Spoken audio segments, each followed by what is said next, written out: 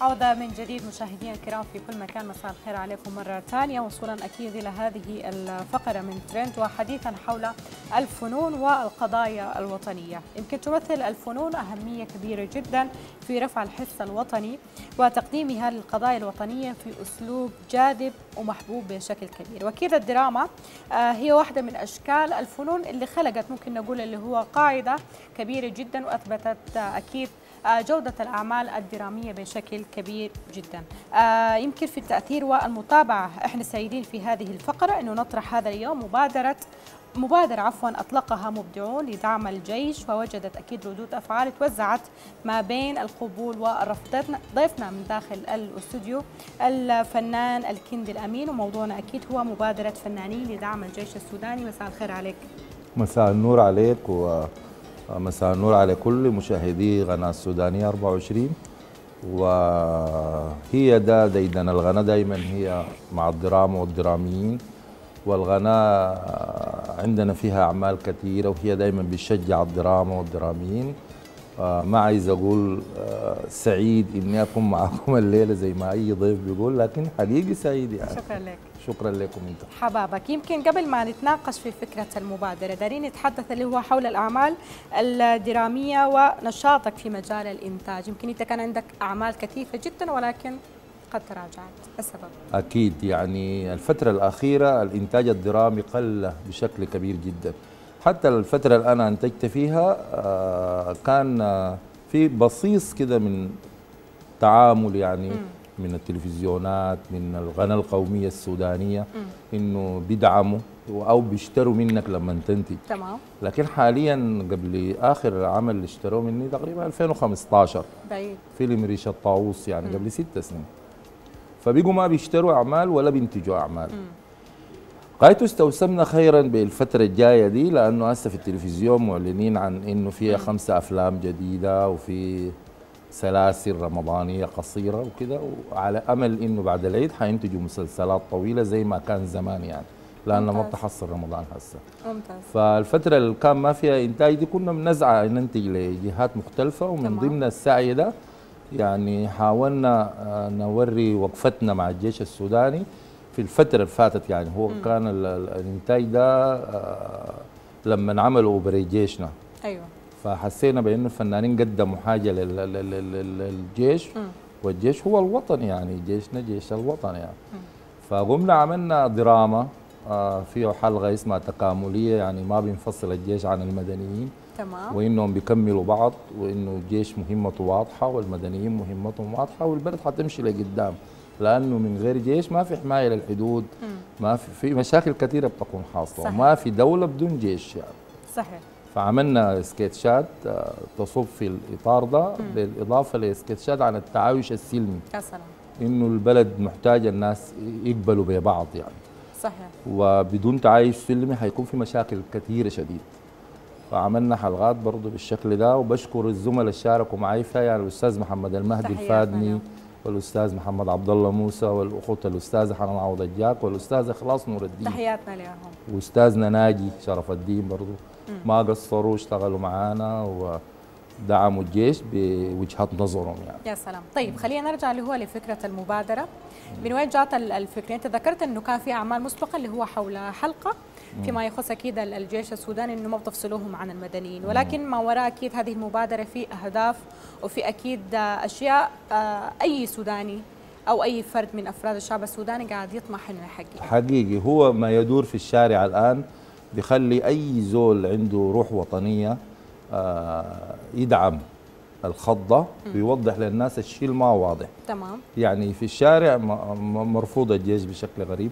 ممكن يكون السبب يعني افتراءات حاجات حاصلة هي ما حاصلة يعني ملكوها للشعب.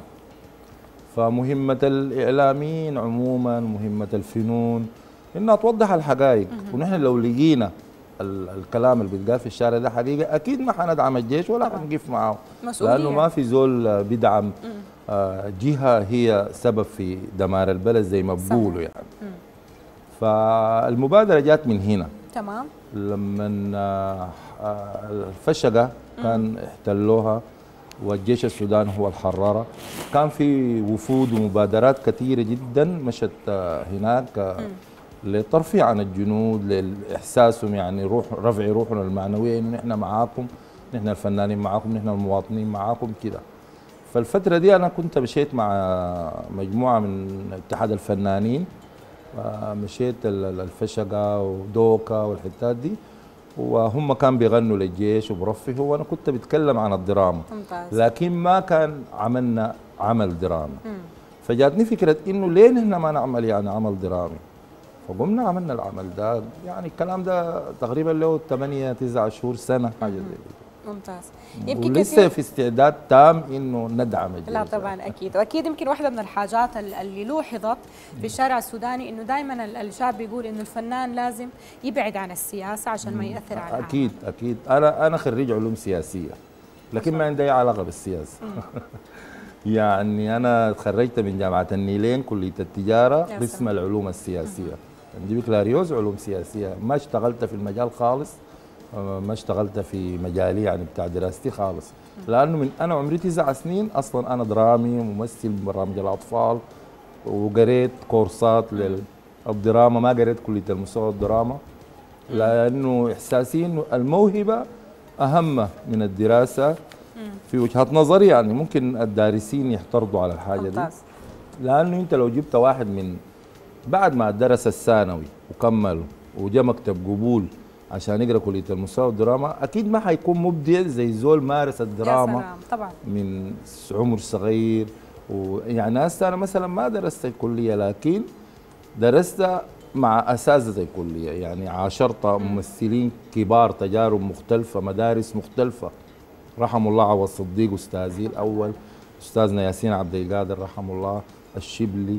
كمية من الدراميين أنا اشتغلت معاهم وباخذ منهم في سين صغيرة. لحد ما بقيت أنا في يوم من الأيام إنه في مصافهم مع الجداد يعني. ما شاء الله. يا سلام. طيب آه، لهذا نرجع للمبادرة. شنو آه، ممكن نقول الأعمال اللي قدمتها المبادرة وكيف كان تأثيرها على المجتمع؟ قدمنا خمس سكتشات. تمام. سكتش واحد اسمه تكامليه هو اللي تكلمنا عنه قبل شوي إنه لازم الجيش صحيح. والشعب يتكاملوا مع بعض عشان البلد تمشي لقدام. وسكتش ثاني على التعايش السلمي إنه البلد دي لازم نعيش فيها كلنا بمحبة ونكون كلنا مع بعض ونرضى ببعض. يعني لا فرق آه، في جنس لا فرق في تعليم لا فرق. يعني الغبلية لازم ننتهي. منها.